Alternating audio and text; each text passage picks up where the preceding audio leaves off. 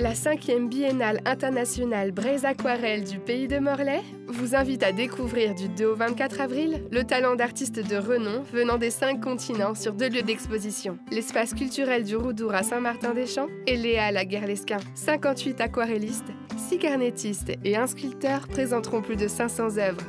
Au programme, des animations prévues tout au long de l'exposition. Rencontres avec les artistes, stages, démonstrations, conférences, visites de groupe, journées de peinture en extérieur. La Biennale d'aquarelle du pays de Morlaix vous attend du 2 au 24 avril, tous les jours sans interruption de 11h à 18h30. Entrée et démonstration gratuite.